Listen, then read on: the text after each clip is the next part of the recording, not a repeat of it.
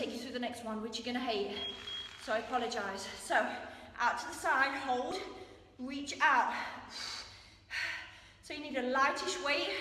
You're gonna hold the bicep and you're gonna punch out to the side. Come on.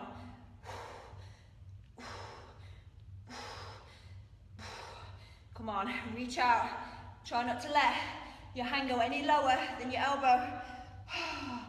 25, 21, wow. Come on, push, you're on this one next. So it's as if you're running your hand along the side of a table and it feels awesome.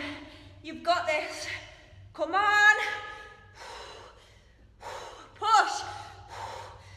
Oh, oh come on, push. Awesome job. So, this time, this is gonna be new.